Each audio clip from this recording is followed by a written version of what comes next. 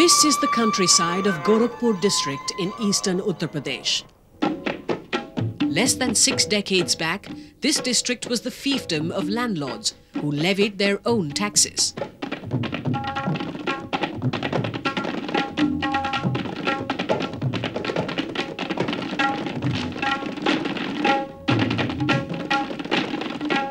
Among them was a tax called motoruna and another called gramophony.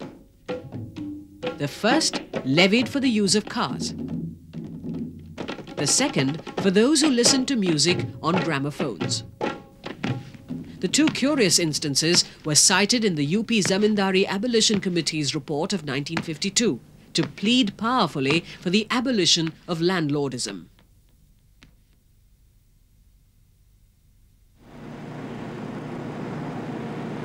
Today, Gorakhpur is divided into three districts, with a fourth likely to emerge soon.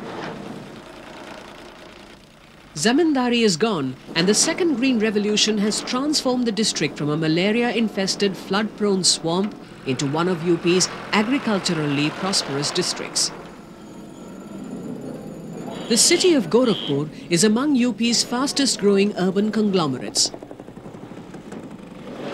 Music shops here stock the latest cassettes, CDs and state-of-the-art music systems. Social scientists maintain that 50 years since independence, among the major milestones which transformed rural society in India was the abolition of zamindari. Abolition of zamindari has been very, very significant in terms of the social development in our country. Uh, consequently, what you find is that uh, the earlier tenant castes or tenant classes have now moved into those places which were vacated by the zamindars. And while they have not become zamindars themselves, there has been a significant upward mobility. And this upward mobility can be evidenced not only in terms of the economic strength, but also politically. Earlier, the zamindars or their factotums spoke on behalf of these people. Now these people are speaking for themselves.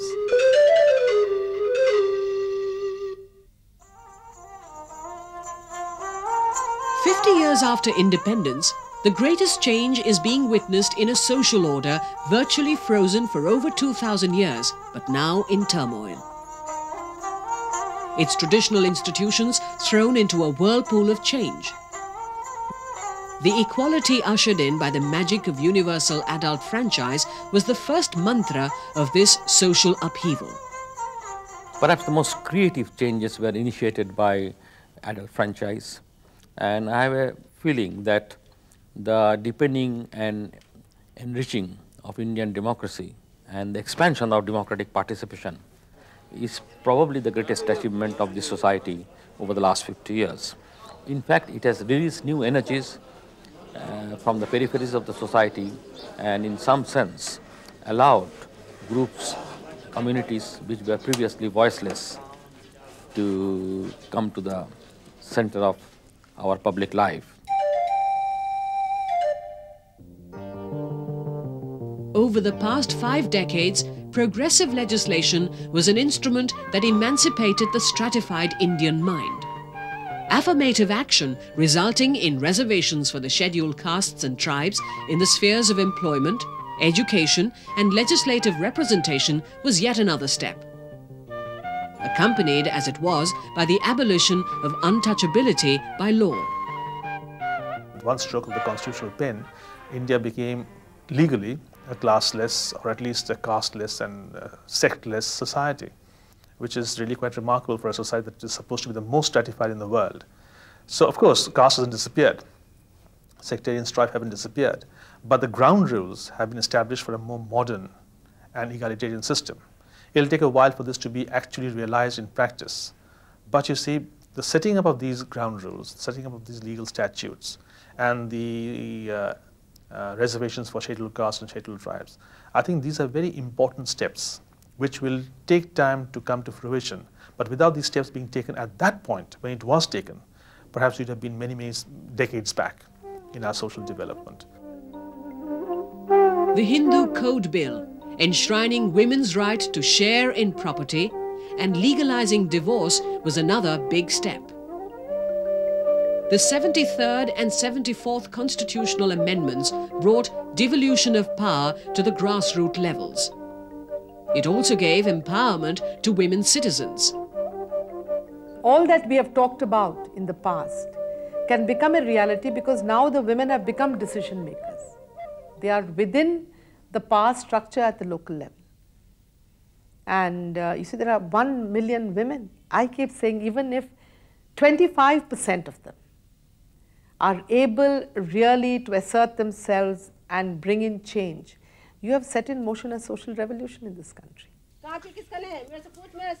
Through these progressive measures, 33% of all elected seats in the village councils and town hall municipalities are now reserved for women only. The empowerment is gradually throwing up a new breed of female leaders.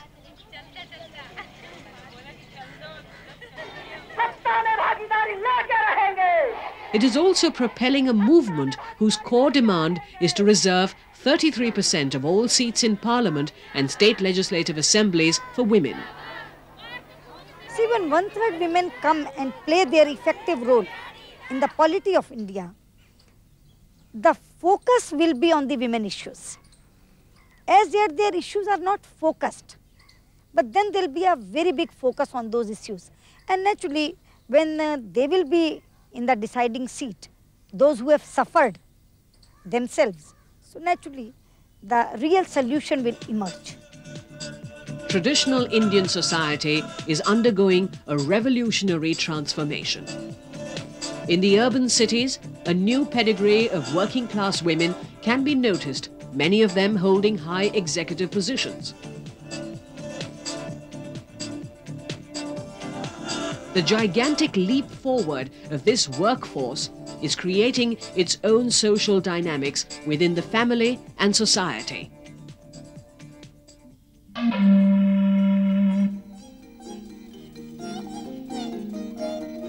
Despite the fact that radical land reforms were never implemented, the efforts made towards social egalitarianism gave an impetus to transform the rural hinterland.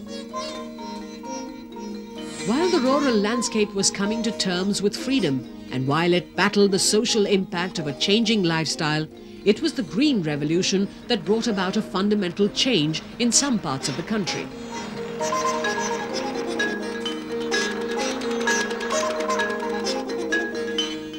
dictated by the compulsions of a need to feed its hungry millions.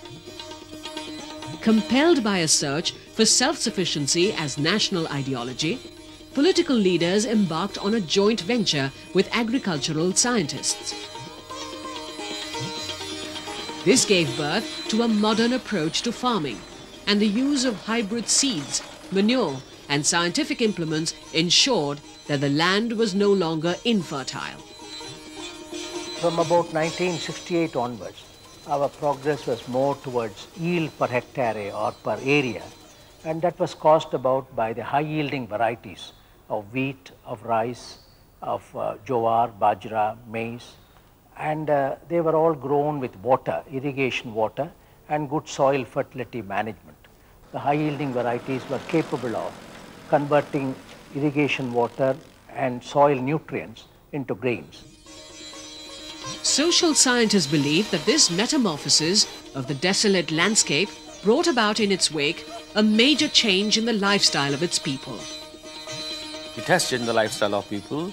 Uh, it has brought more people within the commercialized sectors, monetized sectors, and to the extent to, to, uh, that uh, some parts of the society have are still outside the monetized sector, it has perhaps to some extent increased disparities. But that's a different issue. It has really, as you say, changed lifestyles dramatically. If the Green Revolution brought prosperity to the farming class, the nationalization of banks in 1969 unshackled many peasants from perpetual indebtedness to the rapacious landlord and moneylender. Later, a presidential ordinance issued on 19th July nationalized 14 major banks. Allegations that there was subsequent misuse of bank loans by politicians to increase their vote banks did not dilute the revolutionary impact it had on the Indian countryside. Loans from these nationalized banks empowered economically a new class of peasantry. Chaudhary Charan Singh, a political leader from Uttar Pradesh who later went on to become Prime Minister of the country for a brief period in 1977, was perhaps the first to articulate the aspirations of the newly emergent peasant classes in the late 1960s. His political outfit was a novel experiment at creating a political constituency of social backwardness. Others expanded upon this idea with the help of legislative instruments. In the years to come, the political class in many North Indian states would be led by those who championed the cause of this social strata. In 1990, this politics of backwardness determined the national agenda when the central government accepted the report of the Mandal Commission. The affirmative recommendations of this report changed India's social and political agenda. Today, its beneficiaries regard this as the totem pole that bestowed on them self-respect. Its critics are unanimous that it has politically legitimized caste politics and thereby fractured society further. In the Mandal uh, recommendation, unfortunately, it seems that caste is going to be used as a perennial political resource, something that has that can be routinely, you know, uh, used for political purposes. You can routinely mine into it. It's like a rich vein, a rich ore. You can you know keep on and on and on dredging out these caste prejudices and caste uh, values and caste loyalties from time to time for political purposes. Whatever its merits or demerits, Mandal became the muscular symbol of political assertion of the economically emergent but socially repressed sections. What you see as the Mandal upsurge uh, is part of a larger upsurge, a consolidation of the political power of the so-called backward classes, um, who in any case deserve to have access to that power because of their numbers. They are in the majority in the society, not people like you and me.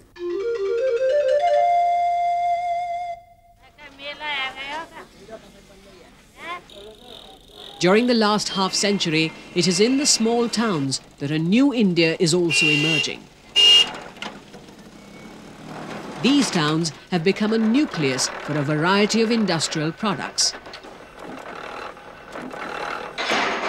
Aligarh has become famous for manufacturing over 90% of all the locks made in the country.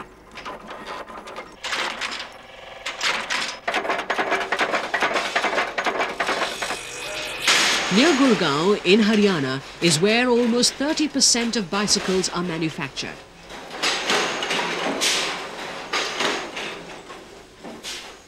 But while there is a sense of prosperity in these townships, they also represent the unplanned growth in urban India. The majority of migrants from the rural villages still flow into the huge metropolitan cities. The smaller towns represent the churning of India, a social mobility of massive dimensions, leading to a reworking of the rural-urban equation. Let us take a ride now from Delhi to um, Dehradun and on the way you'll pass Muzaffarnagar, Meerut, Muzaffarnagar, Moradabad and so forth. And really, your it's like continuous urbanization, what they call conurbation. You know, the small towns dotting the entire route. And people in these villages find jobs in these small towns, or they sell their wares in the small towns. And these small towns are increasing very, very rapidly, simply because of the fact that the people in these villages are no longer satisfied with village life.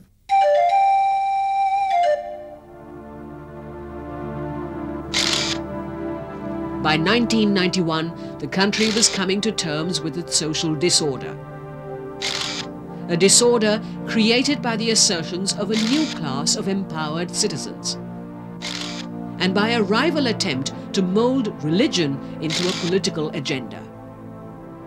The economy had found itself frozen in its overt concerns with socialism and dependence on state intervention. It was in this period that the country took a radical step to stride out of a past mindset and embrace a global economic vision.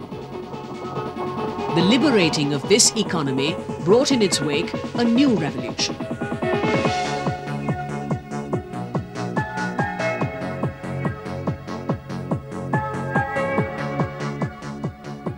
It coincided with the growth of the telecommunications industry in the country and the advent of satellite television.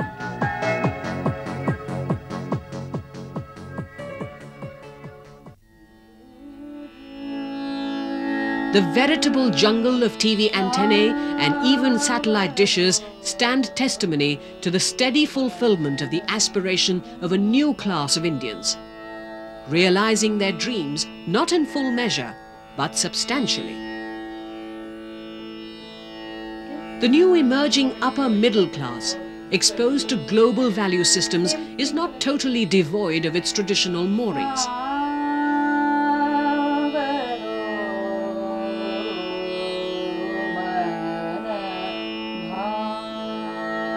Shubha Mudgal is a classical singer of repute. In an effort to reach out to music fans globally, she uses the internet. A website created by her gives information on the various ragas. The idea of actually putting up a website on Indian classical music came because I thought A, that the internet is a wonderful way of communicating with people all over the world. It's possibly the best way of communicating. And the other thing that I saw on the internet was that there are very few uh, sites on Indian classical music that are manned by people who are actually practicing the art.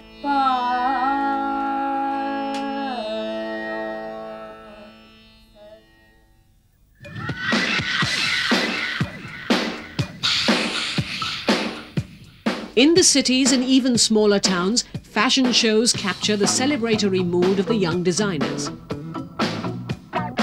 They transform the fabrics and use traditional motifs and craft to fuse a modern look. These designers use cyberspace to reach out to a global customer data. The website that uh, I'm uh, we're doing is as a show window for Indian fashion. We've had an amazing response. I mean, we've got a whole lot of uh, people subscribing to it and you know wanting to know more about it. And uh, we keep changing the look, and you know, so it's actually trying to update Indian fashion and to let people know what's happening in the fashion industry in India.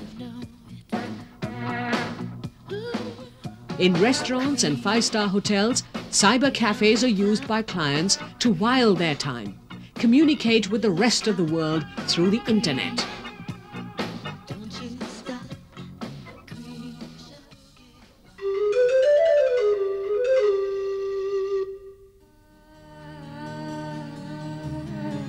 Social scientists now argue that the fruits of this new consumer society, economically fortified, must also reach out to the deprived sections of the country to lend them a helping hand, to ensure that the social disparity which torments the nation at present can be bridged.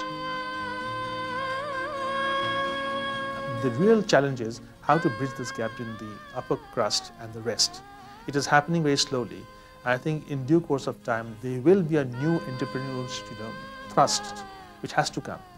Otherwise, uh, we'll, we'll have a class of people who are urbanized, have all the access, uh, access to all, the, all kinds of uh, consumption goods, and you'll have other people who, for whom consumption goods only means soap, oil, bicycles, uh, radio perhaps, you know, and nothing else.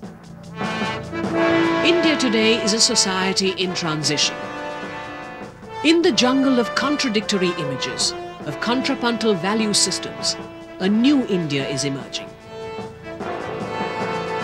The last 50 years cannot be deemed as a long time for a civilization that claims a 5,000 year ancestry. But these 50 years have redefined its civilization. And as it marches on to the new millennium, critics claim the answers to the future will lie in how democratic institutions in the country can be preserved, how the provocation of those deprived for centuries can be absorbed, and the passion of the marginalized converted into productive participation towards nation building.